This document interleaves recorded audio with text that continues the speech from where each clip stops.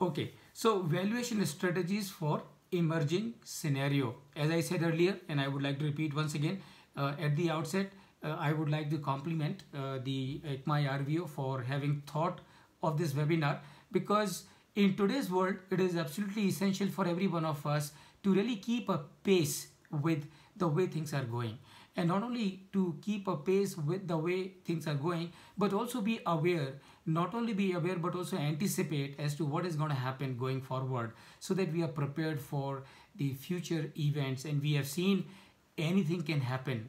The year 2020 has shown us anything can happen uh, and therefore we need to prepare. I i'm not sharing friends uh, any uh, any ppt uh, I, it's just going to be impromptu. And uh, whatever little thought that I have, I would uh, uh, put them together subsequently and uh, share with Sandeep and who would be able to share with every one of you. So uh, let's start. Uh, COVID-19, I think friends, the worst is over. The worst is over for sure. A lot of people say that 2020 was a bad year. Now let me tell you friends, time is always same. Nothing wrong with 2020. As a matter of fact, if we look at 2020 with sincerity and introspection, we would realize that 2020 is one year in our life that is going after giving a lot of meaningful messages, a lot of lessons that can be learned from from 2020, and uh, and therefore, uh, no doubt about it, the year 2020 has been most challenging of our times, but immense lessons. The lesson number one that you have to be prepared for everything. Lesson number two you cannot take life for granted. Lesson number three you have to be careful. You have to be risk focused. You have to ensure that you don't take life lightly. Lesson number five come what may come what may if you are cautious if you are prepared you can overcome any difficulty. And i would like to mention here something which uh, the the chairman of uh, Panasonic uh, once said. He said, "An experience that does not kill me makes me stronger."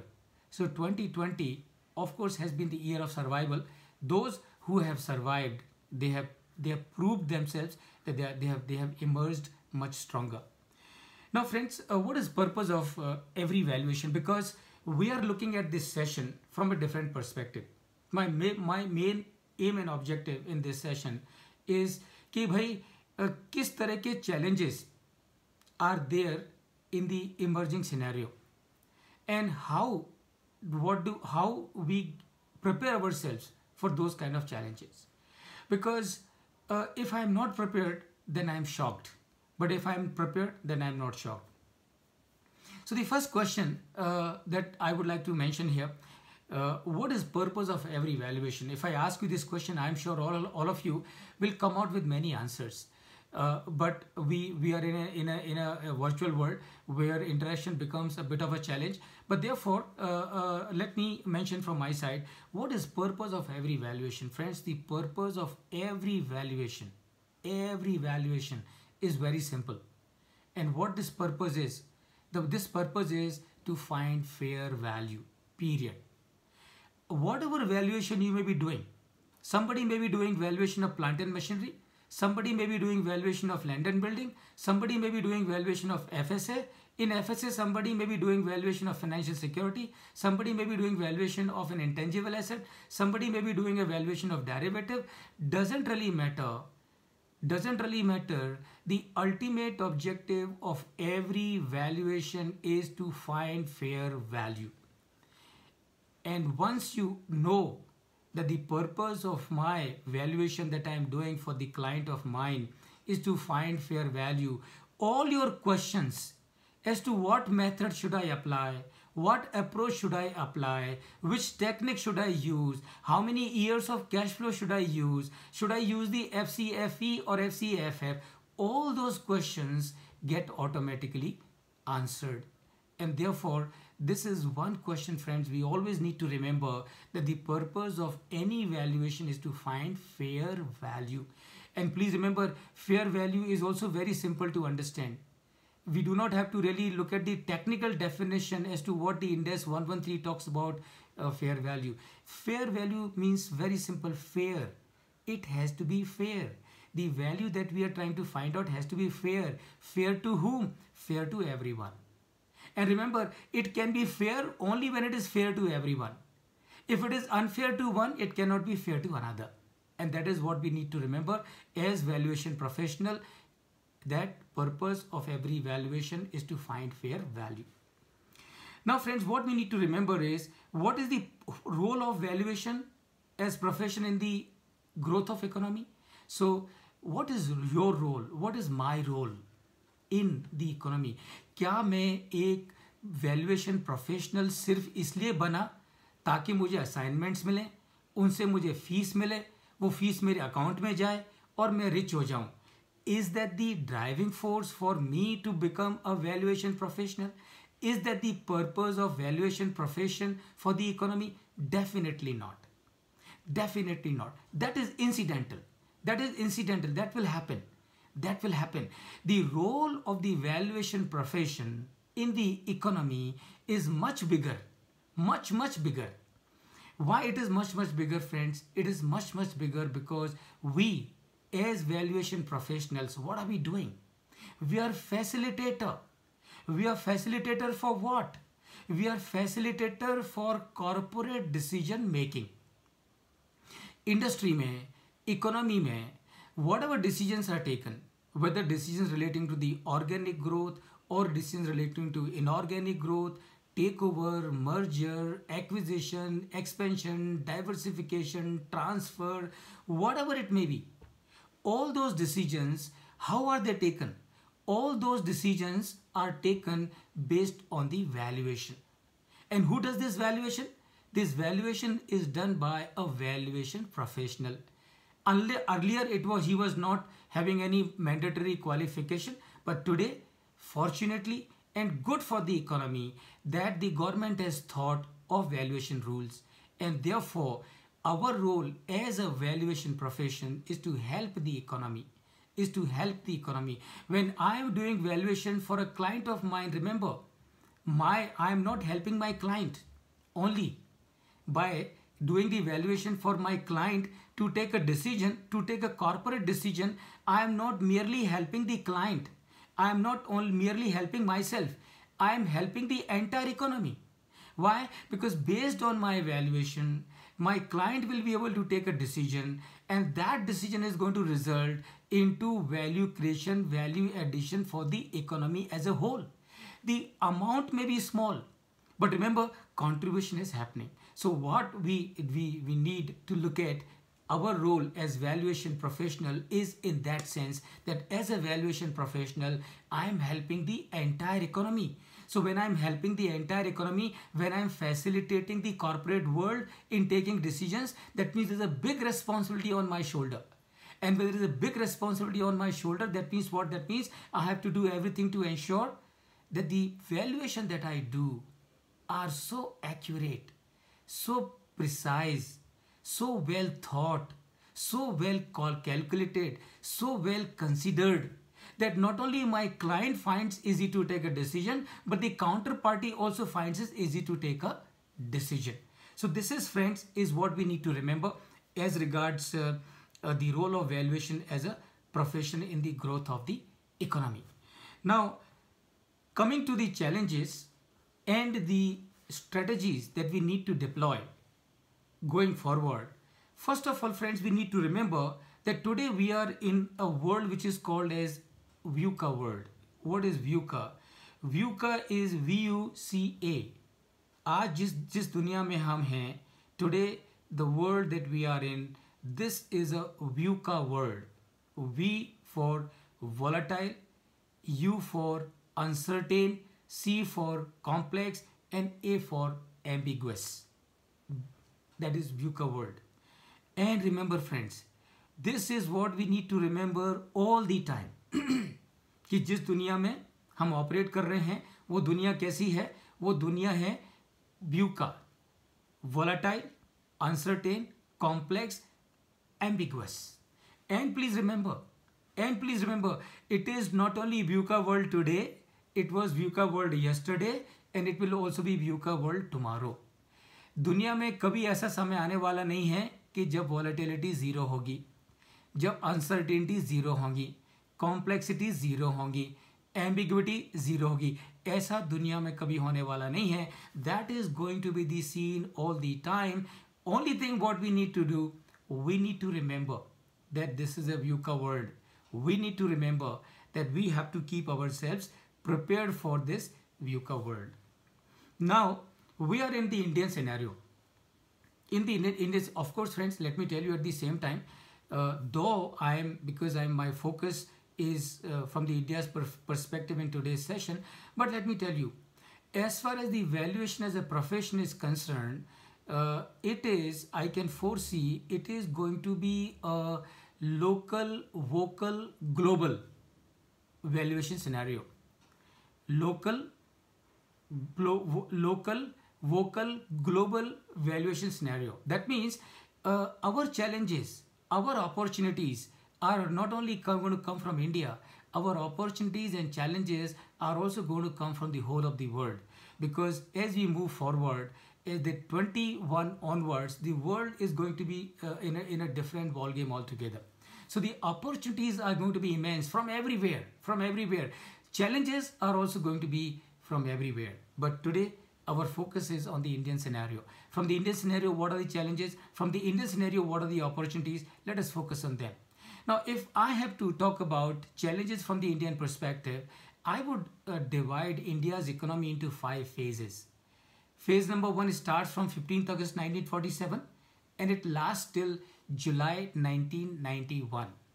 And why do I say July 1991? Because friends, uh, as a result of the economic policies and socio-politic policies that we adopted in this country, knowingly, unknowingly, intentionally, unintentionally, whatever it may be.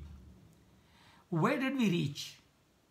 From 15th August 1947 when we got the independence, July 1991, what did we achieve? We achieved international bankruptcy. That means our forex reserves in the month of June 1991 were just enough to take care of three, 11, three weeks of our import requirement. We, we had no money. We were about to tell the world, gentlemen, sorry, we are bankrupt, we are insolvent, we have no money, please excuse us, we cannot pay you.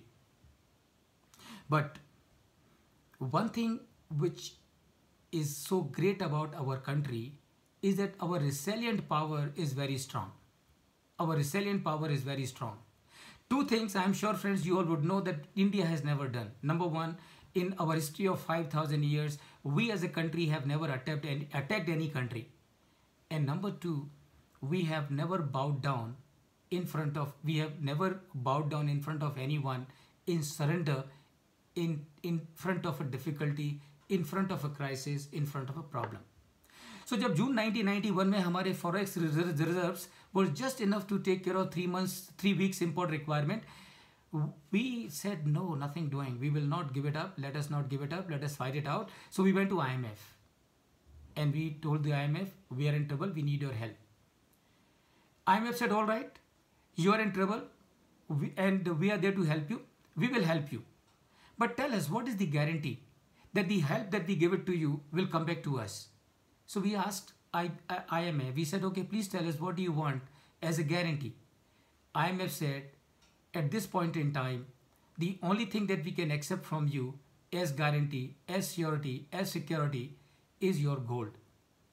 And friends, 46.91 metric tons of gold.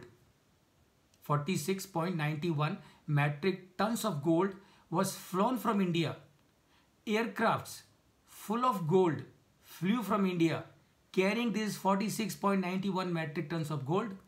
It was placed with Bank of England and Bank of Japan and against this security of 46.91 metric tons of gold, IMF said, IMF said, all right, we will help you.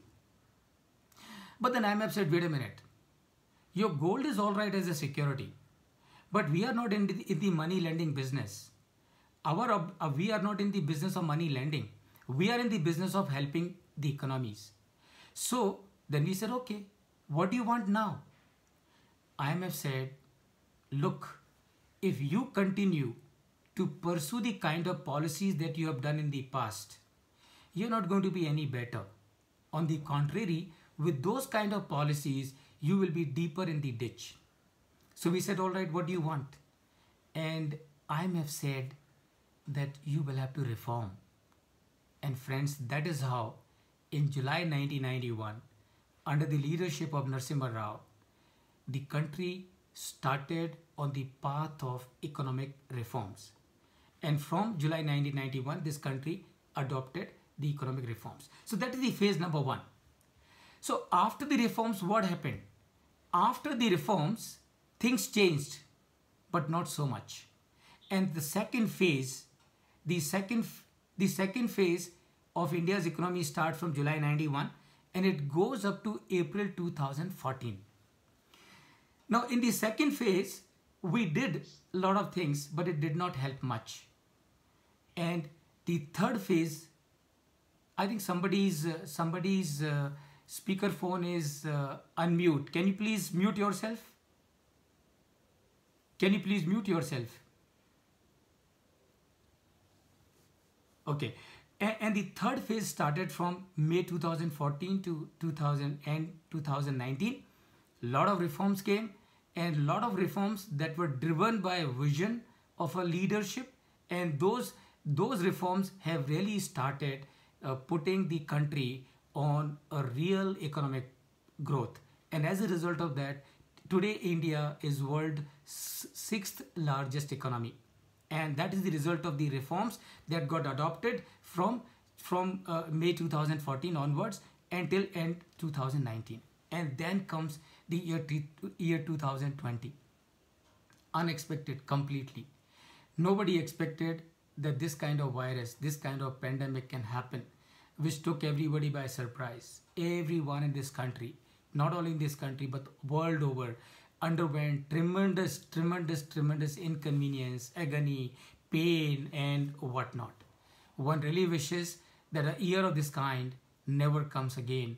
And uh, even if it comes again because something that is not in our hand people have the wisdom people have the intelligence people have the understanding people have the sense of responsibility people have the sense of cooperation people have the understanding of pain of each other that in case if such a crisis happen they don't think for themselves they think for everyone.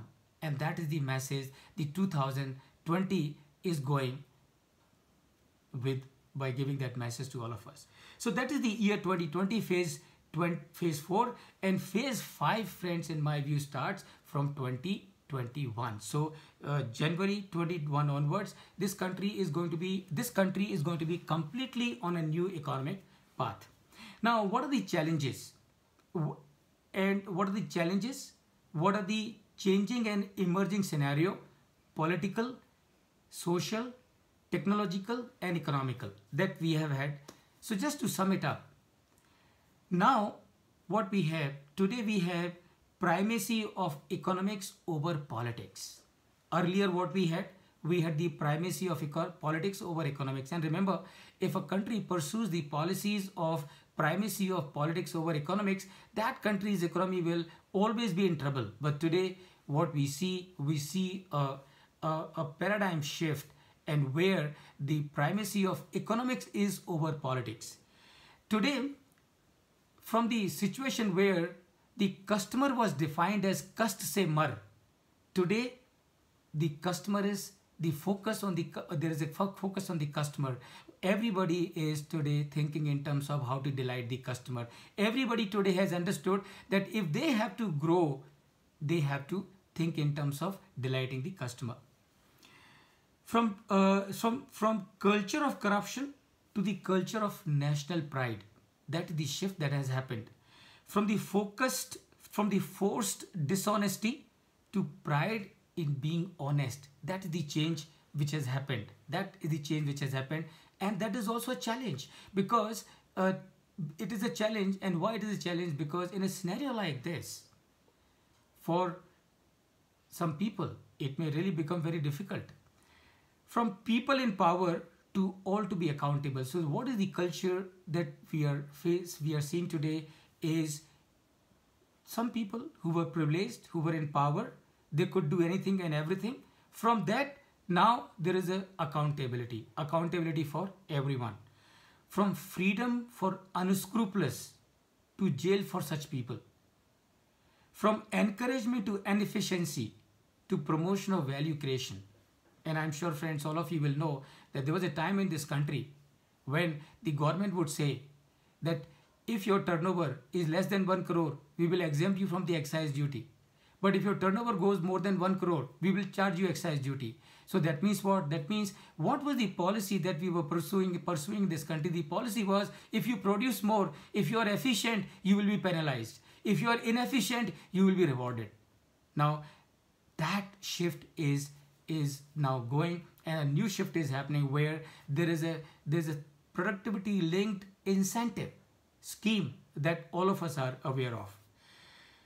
From struggling underdeveloped to a confident developing economy at number 6 now and soon to be going to be at 5 from socialism capitalism communism to omniprosperitism. So there was a time in this country when we were struggling with socialism communism and capitalism. But today with the focus of the leadership is on omniprosperitism. From negligible and borrowed technology to rapid advancement in indigenous technology, that is the shift that we are seeing in, in our economy. From profiteering to value creation. From profiteering to value creation. From local to local, vocal, global economy. And from governance to from no governance to all pervasive governance. Now this is the friends change scenario that we have and we need to gear up ourselves for this change scenario. We need to give our gear, gear up ourselves for this change scenario. Friends, I would like to share with you uh, strength of India's economy and uh, how has it how has it moved and to to share it with you in the year 1992 US was the number one economy. In 2008 also, US was the number one economy. And in 2024, US is going to be at number two. In 1992, Japan was at number, number two. In 2008 also, Japan was at number two. But Japan in 24 is going to be at number four, which is going to be the economy in 24 at number 3. Now as per the projections of the World Bank and IMF in 2024 the one country which is going to be at number 3 in terms of economy, size of the economy, it is going to be India. Now our government is already talking in terms of 5 trillion dollar economy. IMF and World Bank are projecting us to be at number 3 in 2024. Now, what is what are the consequences of this growth on the valuation as a profession? And you can imagine that the the consequences, the ramifications, the are going to be immense as far as the valuation profession is concerned. Why? Because with so much of growth happening all across the economy, at all levels. Obviously, the requirement for valuation is going to be tremendous. So there will be requirement requirements of valuation not only from Indian companies but also companies coming from outside India and in different walks of in different walks, different areas, different domain, and that is what what, what is is visualized based on this shift in in the growth of India's economy to reaching to a point of third position in 2024. How do we see future of valuation profession? Now, if when I look at as a valuation professional, which I do, because as a matter of fact, being a being a valuation professional, it always concerns me as to how is the evaluation, how is the scope for the evaluation professionals in this country. Now, in my view, sky is the limit. And when I say sky is the limit, why do I say this? I say this for number one, ever growing landscape of valuation local as well as global. We all know very well that the kind of corporate restructuring, the kind of startups, the kind of FDIs, the kind of uh, in fresh investment, the kind of capex, the kind of capex even by the government are happening. Uh, that means the landscape of valuation is continuously expanding everywhere. Growing regulatory requirements. So whether it is Companies Act or Income Tax Act or FEMA or SEBI or court or NCLT or IBC or IBBI or so many uh, other forums. The requirements for valuation as we all know is ever expanding under all these statutes as well. And that means what? That means the requirement for valuation is increasing. But please remember, it is not valuation, requirement for valuation is increasing. It is the requirement of considered, well thought, well calculated, well planned, accurate valuation. Demand for that is increasing. And therefore, whether it is whether it is a corporate client or it is a government agency, whoever or it is a foreign company, whoever it may be, everybody is looking for valuation. Valuation which is quality valuation.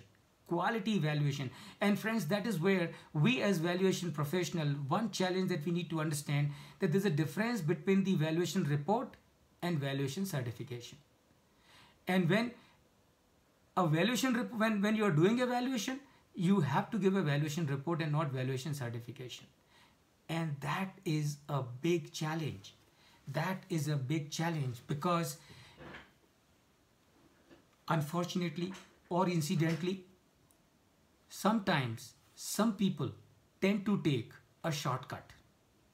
And in the process of taking a shortcut they tend to shorten the whole process and they tend to compromise.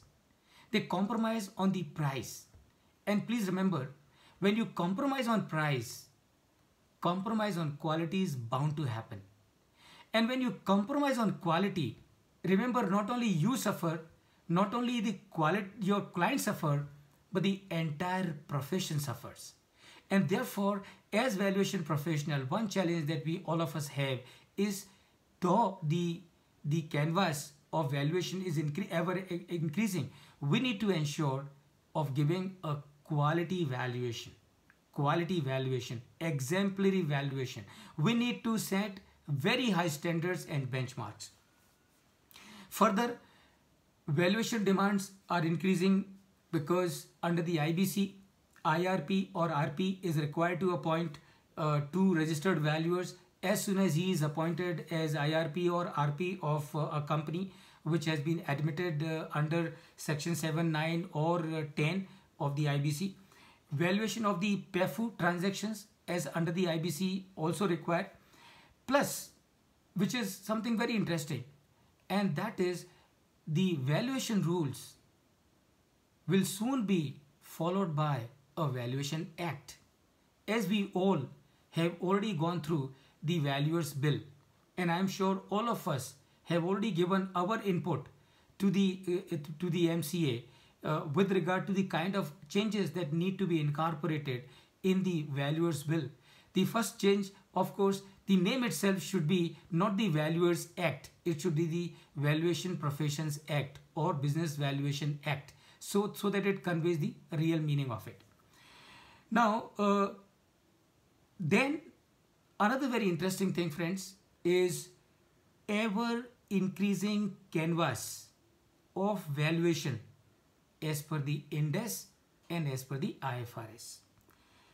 The ecosystem of business valuation is phenomenally expanding, taking into account the Ind ASs and the IFRS. So if it is an Indian company, Ind AS. If it is a foreign European company, or a company to which Ind AS is applicable, to which IFRS is applicable, the valuation will have to be done as per the IFRS. And that means what? Friends, that means a big challenge. And what is the big challenge? The big challenge is, and I'm going to share with you uh, the, the Ind ASs under which fair value measurement is required uh, for, for the reporting purposes. I'm going to discuss with you uh, as to which are those, uh, uh, those Ind ASs where the fair value, fair value measurement is required. But let me tell you, if we have to cater to this demand coming from the corporate, we will need to ensure that we equip ourselves with a very good understanding of the Ind ASs and the IFRS. Now, fortunately, Ind ASs and IFRS, the difference is not too much. The difference is only of some carve and some carve-ins.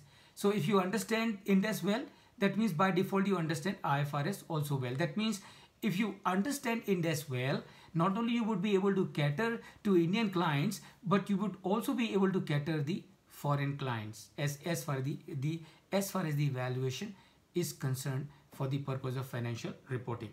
Now let me share with you friends, uh, which are the Ind ASs for which valuation, fair value measurement is required. And who can do this fair value measurement? All, only a registered valuer can do this fair value measurement. So uh, in all, uh, we, we have 39 different uh, uh Ind ASs uh, which are in force uh, today. I'm sure all of you would be aware that there are two series as far as the Ind ASs, indices are concerned. Ind ASs are nothing but the corresponding commensurating IFRSs. so there are two different series under the IFRS. So one is IAS which is International Accounting Standards, which is nothing but the old series of the International Accounting Standards. Some of them have been withdrawn and the ones which have not been withdrawn, they continue to prevail today also. So in addition to this existing series of International Accounting Standards, uh, you have another set of uh, uh, standards which are referred as IFRSs.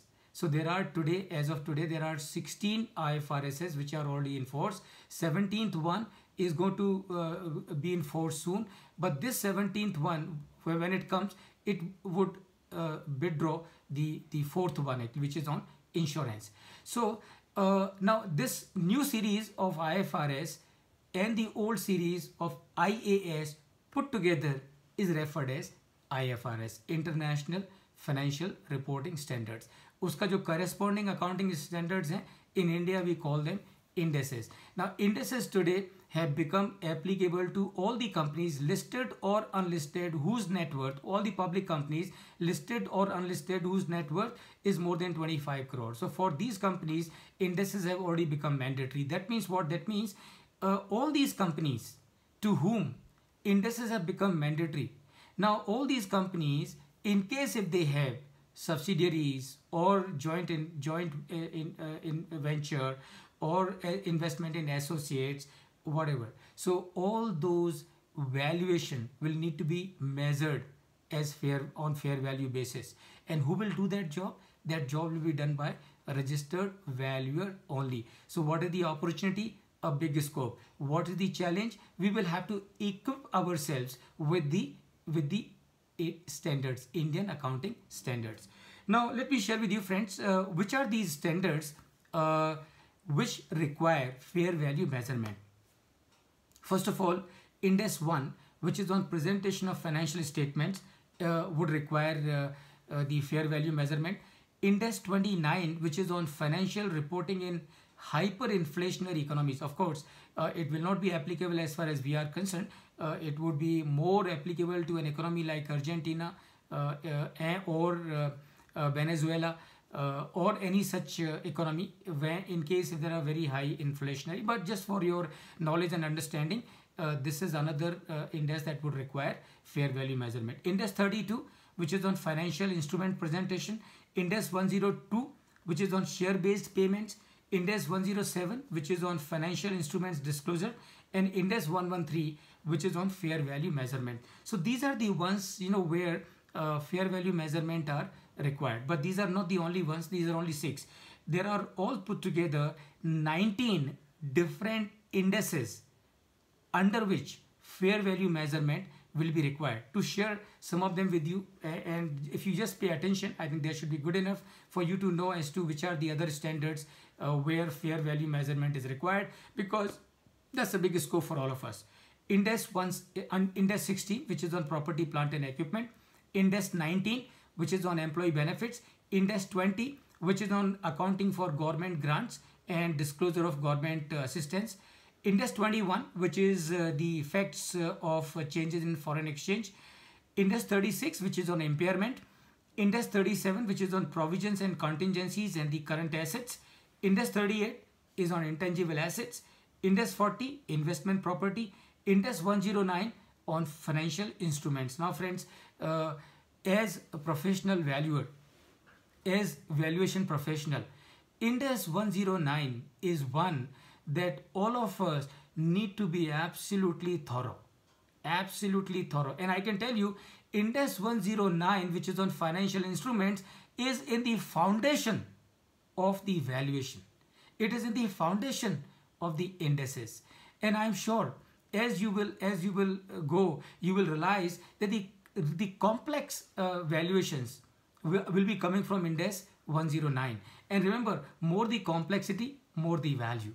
More the complexity, more the value. So Ind AS 109, which is on financial instruments, and Ind AS 116, which is on leases. So these are the uh, another 10 Ind ASs uh, for that, that would require fair value measurement.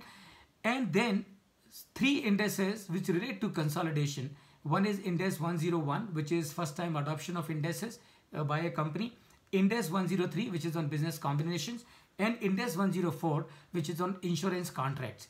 Uh, these three Ind ASs also require fair value measurement. That means what? That means uh, companies to which Ind ASs have become mandatory. Now those companies, depending on their situations, will need to have their assets there which are appearing in their balance sheets. Uh, they will need to have those assets valued for fair value by a registered valuer. Who will do it? You and I will do it. When can I do it? When you can do it? Only when our understanding of all these Ind ASs is very strong. So that is another very big area for all of us. Now friends, uh, uh, challenges in changing an emerging scenario. Now let me be more specific and uh, discuss with you what are the challenges in the emerging scenario. Number one, as I said earlier, need to have stronghold on derivatives, Ind AS and valuations. I am sure friends, all of you would have realized, all of you would have felt one time or the other. And that is there is a deep connection deep connection between derivatives and valuations. And let me tell you friends, this deep connections between the derivatives and the valuation does not stop here. This deep connection between the derivatives and the valuations goes further and is goes and includes even the Ind ASs also in itself. So valuation, derivatives and Ind ASs are all very closely interconnected. And let me tell you, as professional, this is a fantastic opportunity. This is an absolutely fantastic opportunity. And more so for those of us who are professional or valuation professional. Why do I say this? I say this because as a valuation professional, I need to know derivatives. As a valuation professional, I need to know valuation. Now these two things, derivatives and valuation, which are required by me and you as a registered valuer may not be required by any other practicing professional or working professional. Somebody who is working in a company as a company secretary or a chartered accountant or a cost accountant or an MBA, remember, he may not be needing the knowledge and understanding of derivatives and valuation because his job profile is different. But you and I, whether practicing as a cost accountant or company secretary or chartered accountant, besides having the knowledge, beside needing the other knowledge, we also need to have perforce the knowledge of derivatives and the knowledge of valuation because the valuation cannot be complete without the knowledge of derivatives. Now that I have the knowledge of derivatives, now that I have the knowledge of valuation, why should I not also get into the Ind ASs and get a good knowledge about the Ind AS because then they complement them uh, complement all of them very well. And not only they complement all of them very well remember there are very few people who can literally be counted on fingertips who will have this kind of formidable combination knowing derivatives knowing valuation and knowing Ind ASs. This friends i also see as a big challenge for all of us.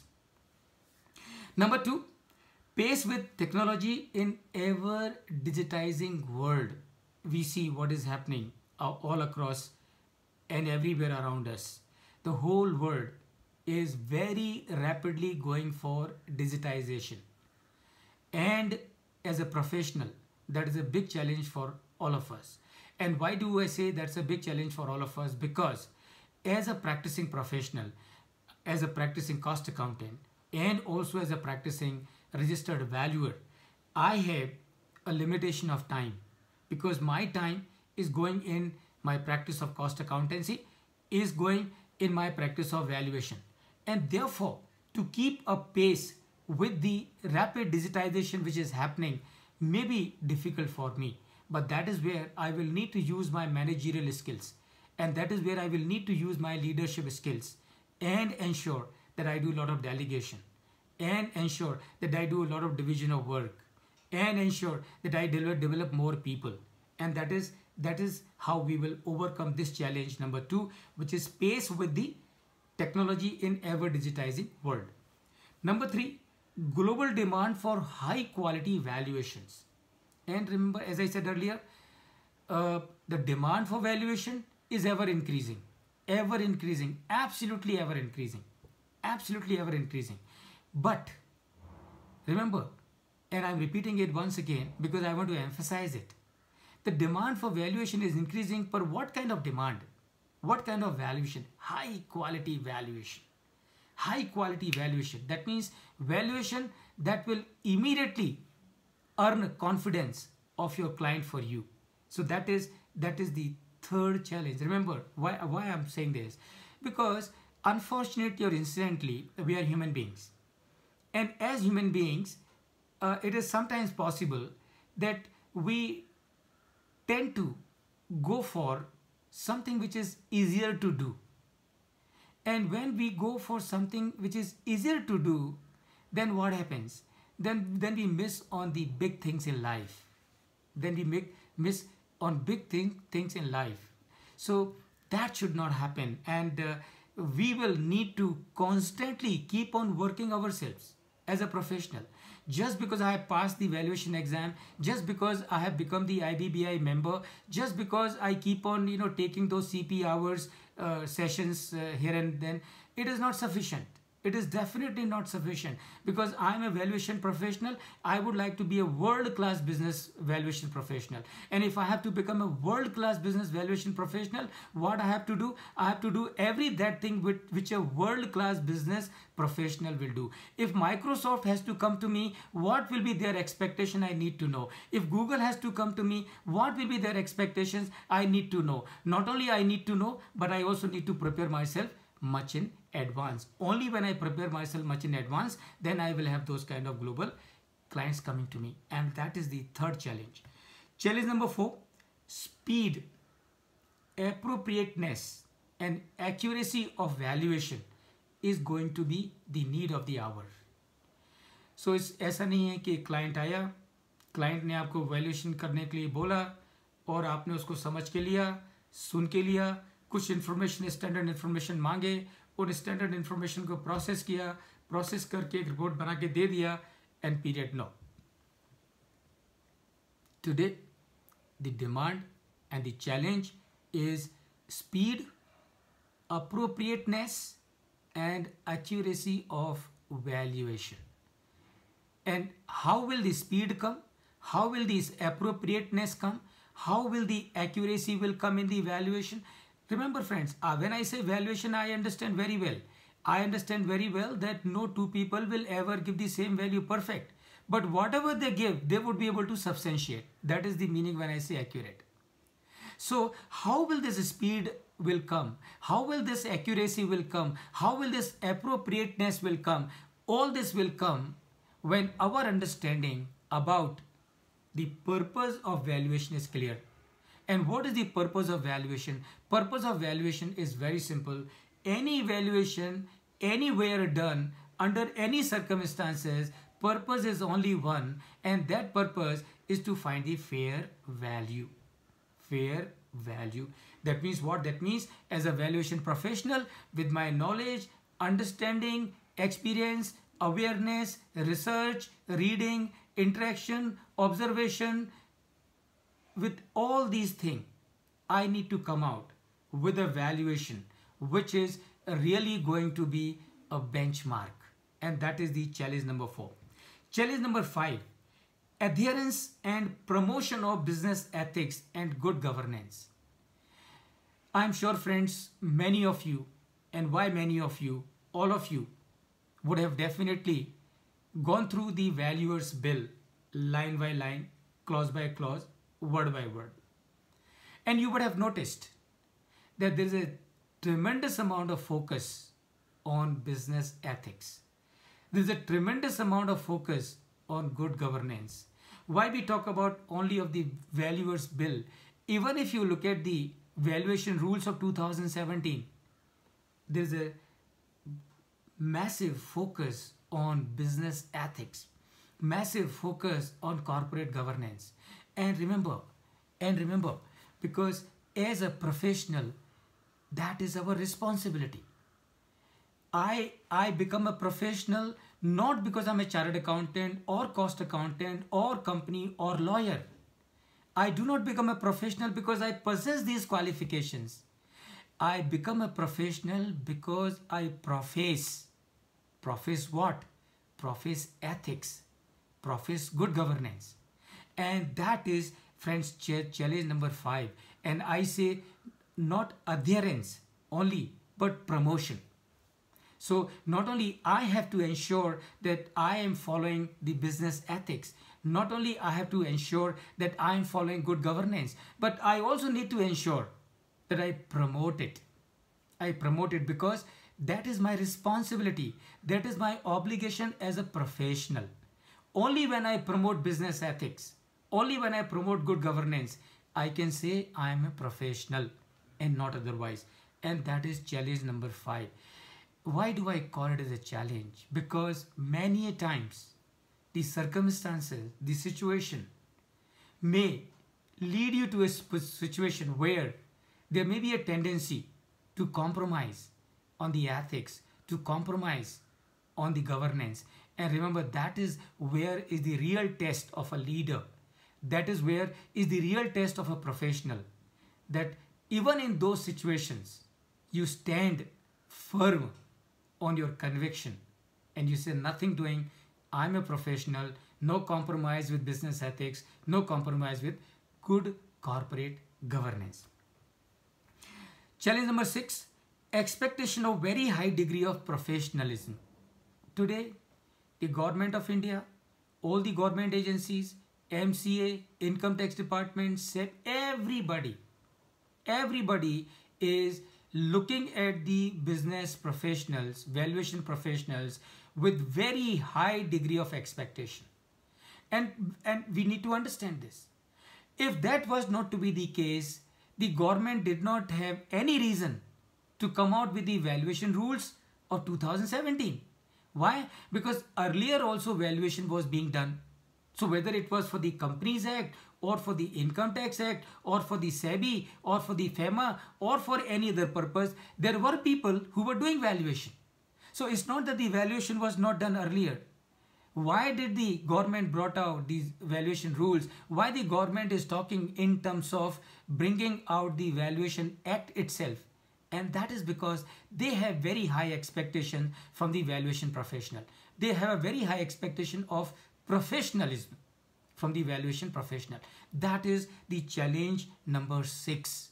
Very important challenge and we have to really stick to it. We really have to prove that valuation professional community in this country is very strong.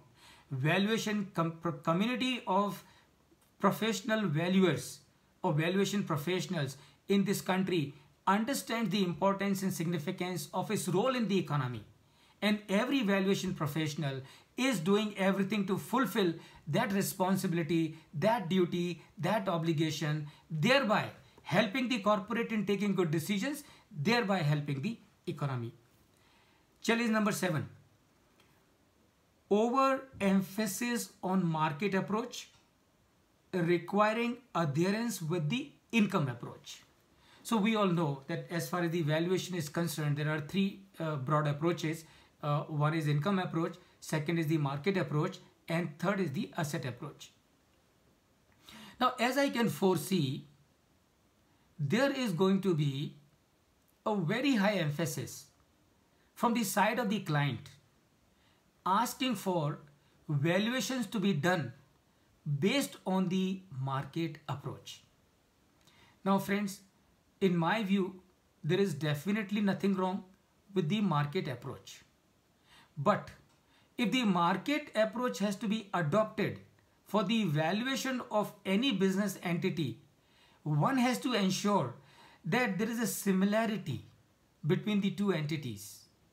A new company which is just starting, maybe having the same product line as Google or Microsoft or Facebook. It is just starting. Same product, everything. Now this company cannot come and tell you, okay, look what I am going to do is same thing what Google is doing, what I am going to do, same thing which Facebook is doing, what I am going to do, same thing which Microsoft is doing and therefore you give me the same valuation which are being given to these companies. That is going to, that tendency is going to be extremely pervasive coming from all sides. In my view, this is a big challenge and why this is a big challenge? Because all said and done marketing approach for the purpose of valuation is absolutely very good no doubt about it. But it cannot be applied to every situation. And what can be applied to every situation is the income approach. Because ultimately when you're doing the evaluation value meaning what? Value means money cash.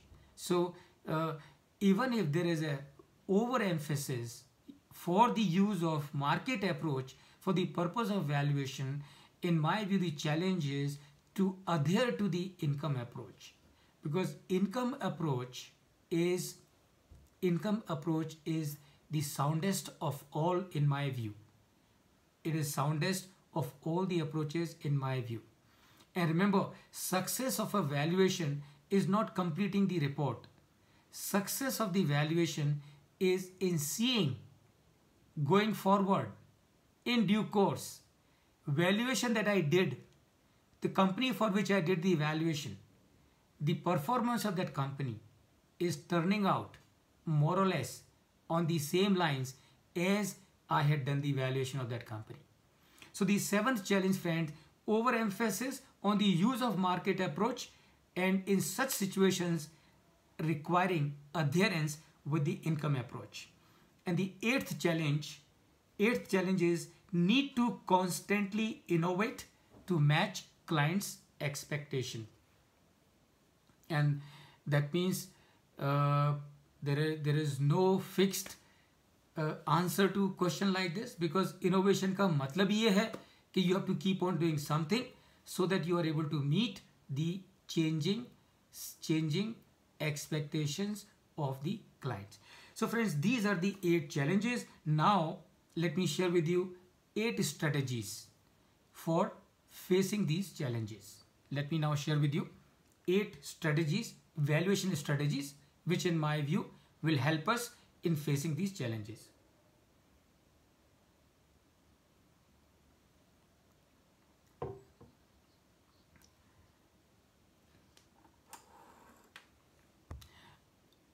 What uh, I will suggest, uh, I, let me just finish and I'll take all the questions. I will leave enough time. I have planned it that way. So what I have done is I have planned enough time for the Q&A uh, once I complete this actually. So uh, I, I hope that's okay for you.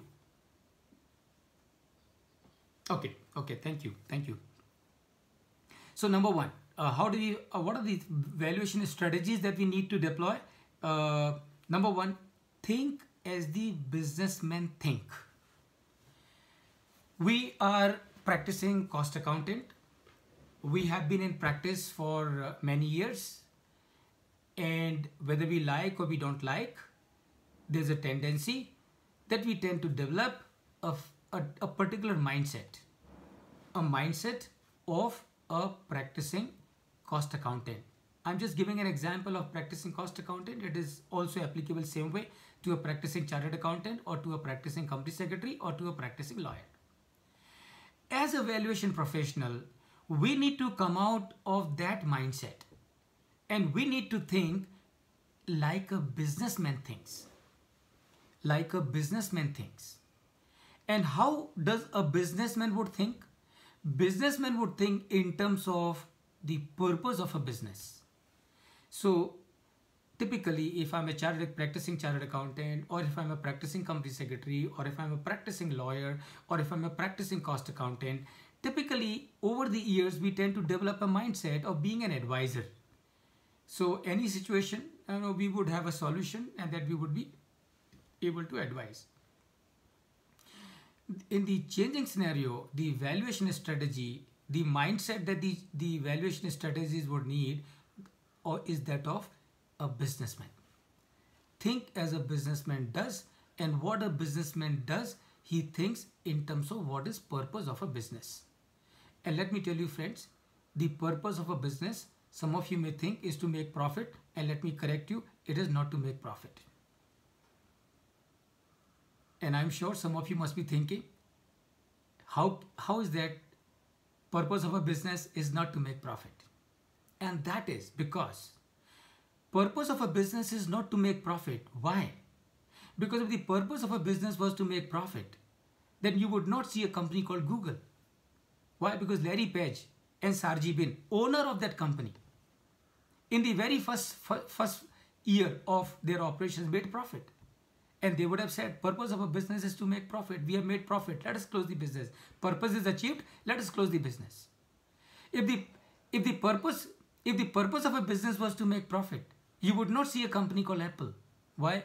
Because Steve Jobs and Steve Wozniak, the promoters of Apple, in the very first or second year of their operations made profit, they would have said the purpose of a business is to make profit. We have made profit. Purpose is achieved. Let us close the business.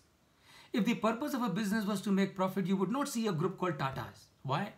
Because the founder of Tata, Jamshedji Tata, when he set up the steel plant in Jamshedpur, in very first few years, he started making profit. And he would have said, purpose of a business is to make profit. We have made profit. Purpose is achieved. Let us close the business. And that is why I say that the purpose of a business is not, is not to make profit. And I also say that purpose of a business is not to make profit. Why? Because making profit in business is compulsory. Making profit in business is mandatory. Making profit in business is non-negotiable. Meaning what? Meaning if you are in business, you better make profit. If you are in business, you better make profit. If you are in business, if and you are not making profit, least that you can do is to hand over that business to somebody who can make profit out of it. Why? Because if you are in business and if you are not making profit, you are harming the economy of this country. And you have no right to harm economy of this country. And remember, that is why we have this law called IBC. So what is IBC? IBC is in case if a person is not able to run the business profitably, then he has to go and give that business to somebody else. And therefore, remember, purpose of a business is not to make profit because profit you have to make. Then what is the purpose of a business? Purpose of a business is to create value. Purpose of a business is to create value. That means what? When I am doing valuation, what do I have to see? I do not have to see as to how the numbers look like. What I have to see is how this decision is going to help the client create more value. Only if the decision, the valuation that you are coming to is going to help your client create more value, then only it will really be serving the purpose. And therefore, you and I will have to have the mindset of a businessman. Look at from that perspective. Number two, know how the businesses are controlled. As a valuer, I do not have to control the business. As a, because as a valuation professional, I am not involved in the running of the company. I am not involved in the operations of the company. And therefore, how the business is controlled is none of my business. But I need to know how the businesses are controlled. And why do I need to know how the businesses are controlled? You can imagine a group like ArcelorMittal, a group like ArcelorMittal, a group like Tata's, a group like Ambani's, so many of them, group like Birla's, so many plants, multi-location, multi-plant, multi-product, multi-geography, everything is multi. How would they control? How would Mr. Kumar Mangalam Birla will control the entire Birla group? That is what we need to understand as a valuer. And remember, it's not a rocket science. It's not a rocket science. It's not that for understanding as to how to control the business, you and I will have to go to NASA and get a training for three weeks and come back. Then only we will know as to how to control the business. It is very simple how to control the business, we need to understand what is lifeline of a business. And please remember, remember why it is important. It is important because when I am doing valuation of a business and if I see that the operations of this business are being controlled very efficiently, I know this business will get good valuation this business will get good valuation. But if I, when I do the valuation of an entity and I realize that the control on the operations of this business is very weak, then I know for sure that this company is going to be in trouble sooner than later. And for that, I need to know what is, how to control, how the business operations are controlled across the globe. Now, based on my research of global companies, I found out that one thing which the chief executive officer or the chief promoter or the top person he would use for controlling the operations is just one thing. And what that one thing is, that one thing is to know what is lifeline of a business. And what is lifeline of a business? Now, if I ask you, I'm sure you will be able to give me a lot of lot of answers lot of answers lot of ideas lot of thoughts as to this is the lifeline of a business. This is the oxygen of a business. And let me tell you friends lifeline of a business is very simple. And what is the lifeline lifeline of a business? Lifeline of a business is cash profit. Is cash profit. So if kumar mangalam birla or mr mittal or uh, ratan tata or uh, Mukesh Ambani or anybody else all over the world, if they have to control their business, what they would look at? They would look at just one thing and that one thing is cash profit. And what is the meaning of cash profit? The meaning of cash profit is profit which I have earned and it is my it is in my hand and that means what? That means I can use it the way I want to use it. Profit, please remember, is not the lifeline of a business. Profit is only on paper. What cash is also not lifeline of a business because cash can come from equity. Cash can come from debt. Remember, cash coming from equity cannot give you long life because how long somebody will keep on pumping equity. Loan in any case, remember, cannot be lifeline of a, it is cash. Money which is coming in the business by way of loan is cash. But this cash cannot be lifeline, lifeline of a business. This cash cannot be oxygen of a business because not only this cash has to be paid back one day, but it has to be also serviced by way of interest. So what is the life? The third way of cash coming into the business is the cash profit. Cash profit meaning EBITDA. EBITDA, EBITDA conserved. EBITDA used profitably. EBITDA used profitably. EBITDA used in a way that wherever it is used, it is going to generate more EBITDA. And that is what we need to understand. So as valuer, the second uh, thing as valuation strategy, look at the cash profit. Look at the cash profit, how the cash profit is being used. That is the third, second thing. Third strategy, we should know how to measure value creation. And of course, we can measure value creation by way of EBITDA, by way of operating free cash flow. We can also uh, measure uh, value creation by way of ROCE, or we can measure uh, value creation by a business through EVA. EVA, of course, today is the most comprehensive of the KPI used across the globe for the purpose of finding out the value creation by a business. Number four, differentiate between certification and valuation. Valuation, certification is not same as valuation. Certification is different, valuation is different. And that we need to understand as, as a valuation professional, invariably with the assignments that I get is for valuation and less for certification. And therefore, when I'm doing valuation, I need to ensure that I'm doing valuation, not certification. Fifth thing that we need to remember for facing these challenges is if you don't value yourself, then nobody will.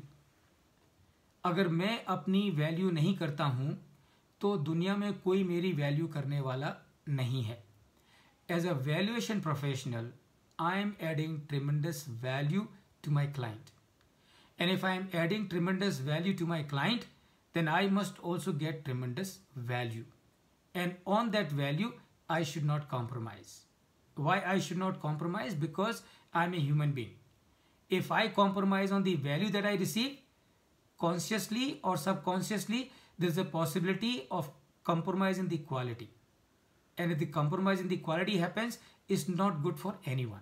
And therefore, value yourself because only when you value yourself others will value you not otherwise no price cutting no compromise when you get an assignment do a complete evaluation assessment as to what time and efforts will be required to be given from your side convert that in terms of value and quote that as your professional fees if the client tells you that somebody is eh, offering to do it at 25% less than what you have quoted.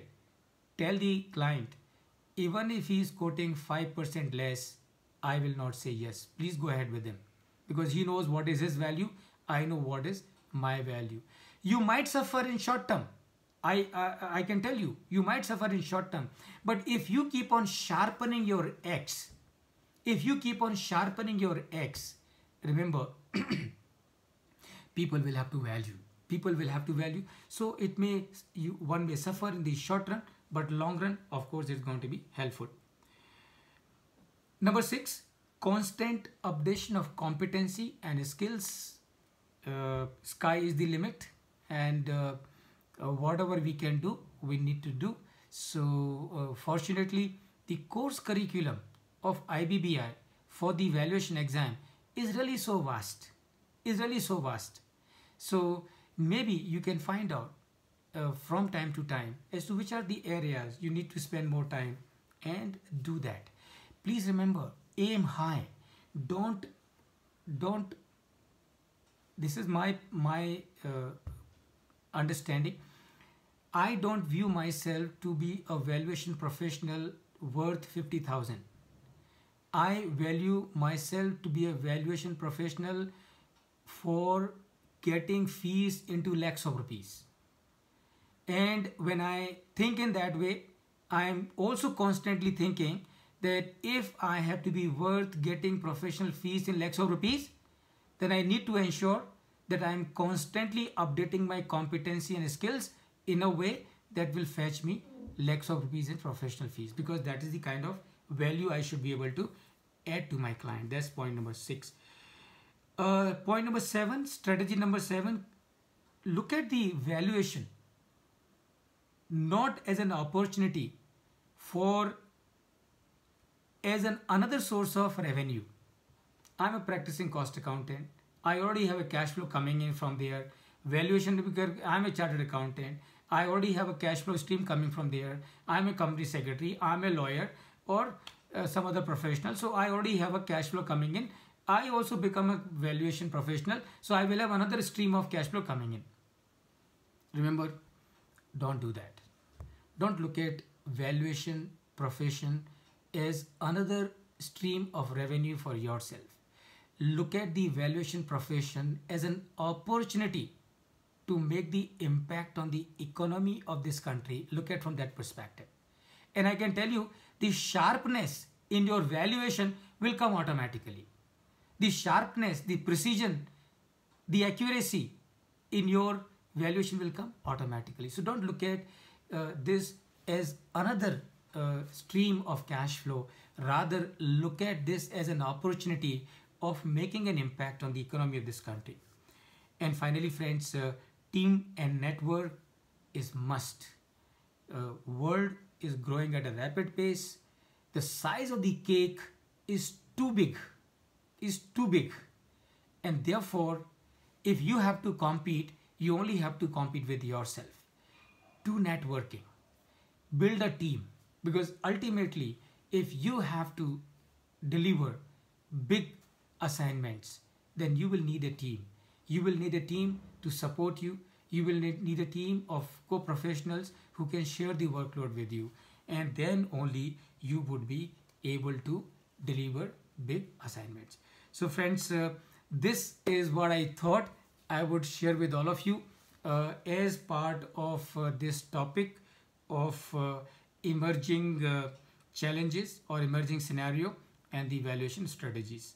So with this, I come to the close of uh, my session. In case if there are any questions, friends, I would be too happy to take them. Thank you so much for uh, all of you for being such a wonderful audience. Thank you.